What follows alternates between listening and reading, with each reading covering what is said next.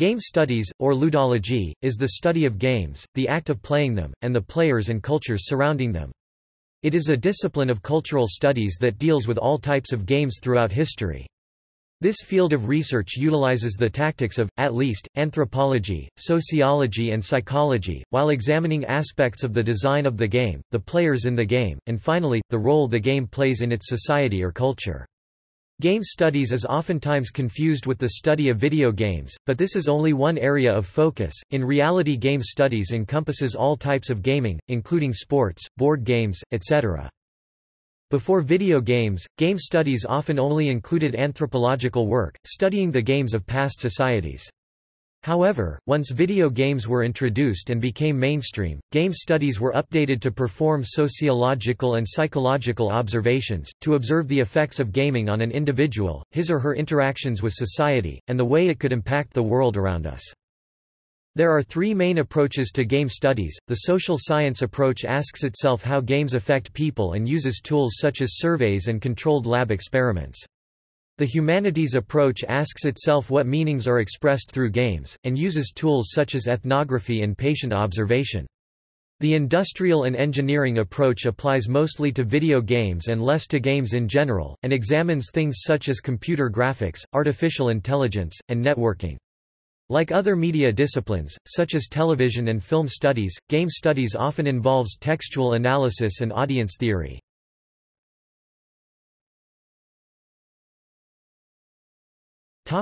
History It wasn't until Irving Finkel organized a colloquium in 1990 that grew into the International Board Game Studies Association. Gonzalo Frasca popularized the term ludology from the Latin word for game, ludus, in 1999. The publication of the first issues of academic journals like Board Game Studies in 1998 and Game Studies in 2001, and the creation of the Digital Games Research Association in 2003, that scholars began to get the sense that the study of games could and should be considered a field field in its own right. As a young field, it gathers scholars from different disciplines that had been broadly studying games, such as psychology, anthropology, economy, education, and sociology. The earliest known use of the term, ludology, occurred in 1982, in Mihaly Csikszentmihalyi's Does Being Human Matter? on some interpretive problems of comparative ludology. Topic social science One of the earliest social science theories 1971 about the role of video games in society involved violence in video games, later becoming known as the catharsis theory. The theory suggests that playing video games in which you perform violent acts might actually channel latent aggression, resulting in less aggression in the player's real lives. However, a meta-study performed by Craig A. Anderson and Brad J. Bushman, in 2001, examined data starting from the 1980s up until the article was published. The purpose of this study was to examine whether or not playing violent video games led to an increase in aggressive behaviors. They concluded that exposure to violence in video games did indeed cause an increase in aggression. However, it has been pointed out, and even stressed, by psychologist Jonathan Freedman that this research was very limited and even problematic since overly strong claims were made and the authors themselves seemed extremely biased in their writings. More recent studies, such as the one performed by Christopher J. Ferguson at Texas A&M International University have come to drastically different conclusions. In this study, individuals were either randomly assigned a game, or allowed to choose a game. In both the randomized and the choice conditions exposure to violent video games caused no difference in aggression. A later study performed by the same people looked for correlations between trait aggression, violent crimes, and exposure to both real-life violence and violence in video games. This study suggests that while family violence and trait aggression are highly correlated with violent crime, exposure to video game violence was not a good predictor of violent crime, having little to no correlation, unless also paired with the above traits that had a much higher correlation. Over the past 15 years, a large number of meta-studies have been applied to this issue, each coming to its own conclusion, resulting in little consensus in the ludology community. It is also thought that even nonviolent video games may lead to aggressive and violent behavior.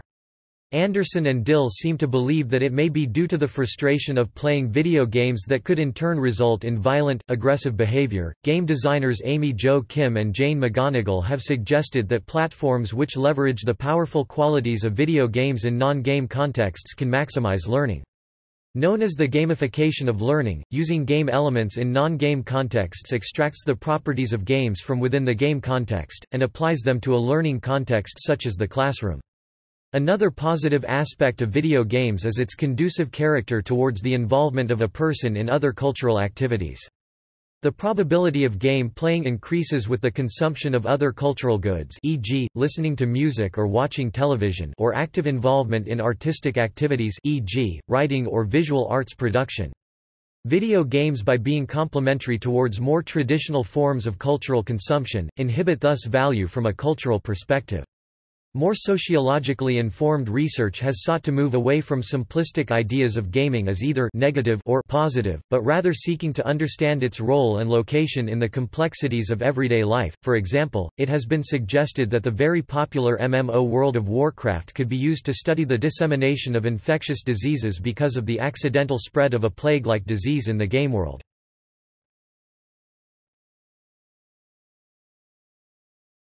Topic: Ludology versus narratology. A major focus in game studies is the debate surrounding narratology and ludology. Many ludologists believe that the two are unable to exist together, while others believe that the two fields are similar but should be studied separately. Many narratologists believe that games should be looked at for their stories, like movies or novels.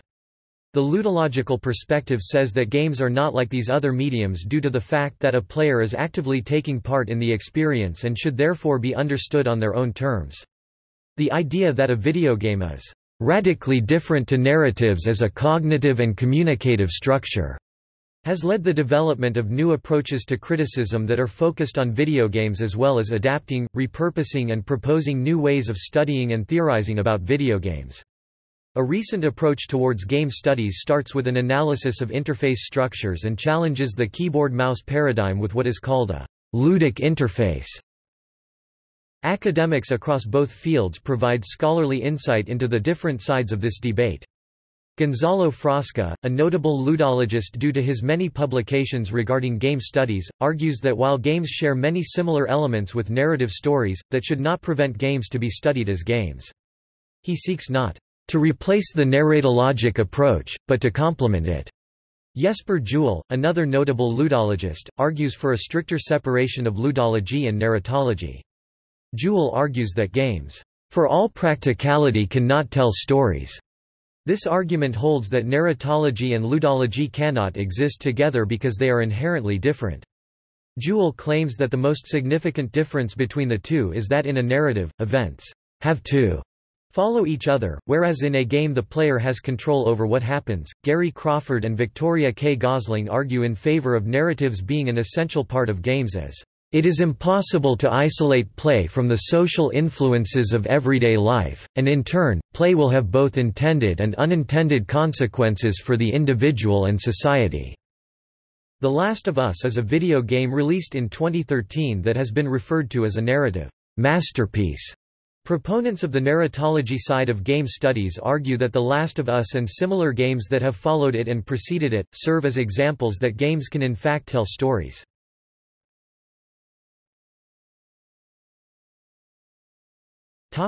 Other areas of research As is common with most academic disciplines, there are a number of more specialized areas or sub-domains of study.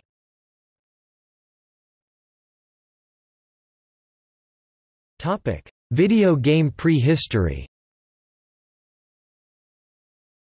An emerging field of study looks at the prehistory of video games, suggesting that the origins of modern digital games lie in fairground attractions and sideshows such as shooting games, early Coney Island style pleasure parks with elements such as large roller coasters and haunted house Simulations, 19th-century landscape simulations such as dioramas, panoramas, planetariums, and stereographs, and amusement arcades that had mechanical game machines and also peep show film machines.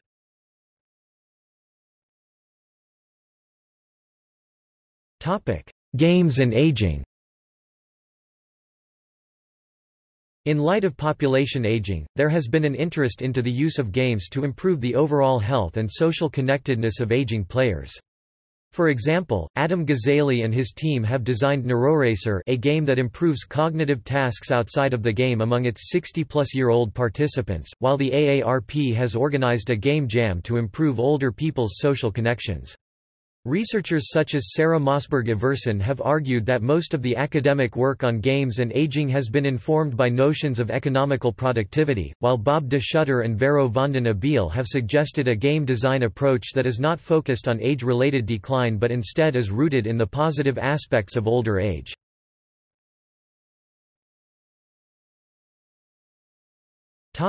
Virtual economies in gaming Massive multiplayer online games can give economists clues about the real world.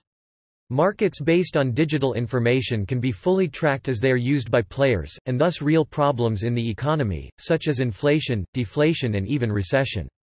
The solutions the game designers come up with can therefore be studied with full information, and experiments can be performed where the economy can be studied as a whole. These games allow the economists to be omniscient, they can find every piece of information they need to study the economy, while in the real world they have to work with presumptions. Former finance minister of Greece and Valve's in-house economist Yanis Varoufakis studied EVE Online and argued that video game communities give economists a venue for experimenting and simulating the economies of the future. Edward Castronova has studied virtual economies within a variety of games including EverQuest and World of Warcraft.